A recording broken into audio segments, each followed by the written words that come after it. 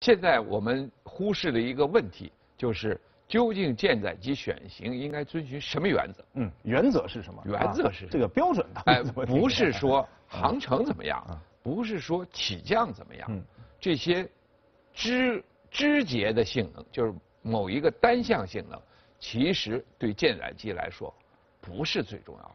那么最重要什么？是一个大原则。第一个原则就是。你能不能对付你未来的主要作战对象？就你这飞机将来要对付谁？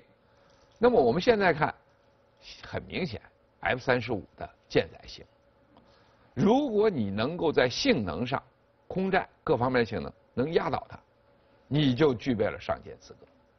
咱们说，美国海军它将来的 F 十八序列的飞机都要被 F 三十五 C 替换。日本现在主力战机将来也要替换成 F 三十五，韩国也是这个，甚至澳大利亚、什么英国什么这些，将来都要装备 F 三十五。也就是说，我们未来可能的主要作战对象很明显，F 三十五。你能对付 F 三十五，压倒它，你就具备了上舰资格。作战对象决定了你的全面性能应该什么样的飞机。你如果具备，你就应该是一个综合性能的压倒 F 三十五，这一点，歼二零显然有优势。歼二零像我是重型战机，嗯，我重型战机的空战能力，嗯，航程、综合各方面不是单一性能，是的，是综合的，嗯，很明显，容易压倒中型的，嗯。就说我作战的时候，我的手段更多，我的更多，我带的武器也多，我能力也强。那么这样一种情况来看，现在对歼三幺的巨大条件就是你的综合能力能不能压倒 F 三。那么第二个考虑原则是什么呢？飞机的制造成本，就是多少钱一架？嗯嗯，这太重要了。是的啊，甚至这个成本决定了你这一型飞机能不能成功。我们看，F 二十二性能非常好，各方面都是极端的顶顶级性能。那数据一说，啊，号称独步天下，现在没谁能达到它的水平。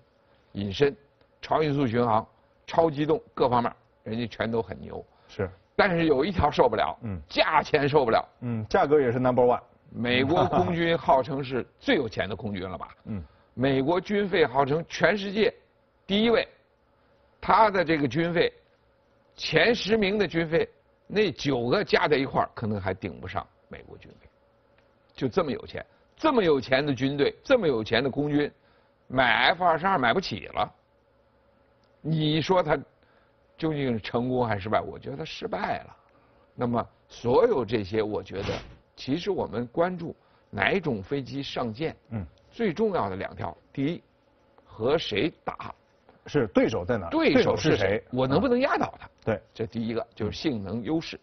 你要有你的作战对象，有目标，有一个压倒的一个目标，那么你就好说了。哎，第二个呢，就是你生产成本能不能降到比较低，能不能够控制成本？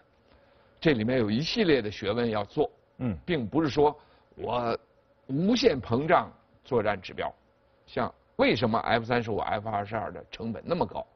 就是一些作战指标无限膨胀，哎，什么都要走到极端，最后结果呢是成本也走到极端，最后军方傻眼了，买不起了，用不起了，维护都维护不起了，这个时候就很麻烦了，一些飞机就，咱们说很难形成真实的战斗力，只是一个花瓶供看的，这个。不是我们追求的目标，而且我觉得是 F 二十二的前车之鉴，我们应该警惕。是，所以说到底呢，还得实事求是。对啊，第一呢，目的很简单，就要打得赢；第二呢，也得消费得起，买得起，用得起。是的啊。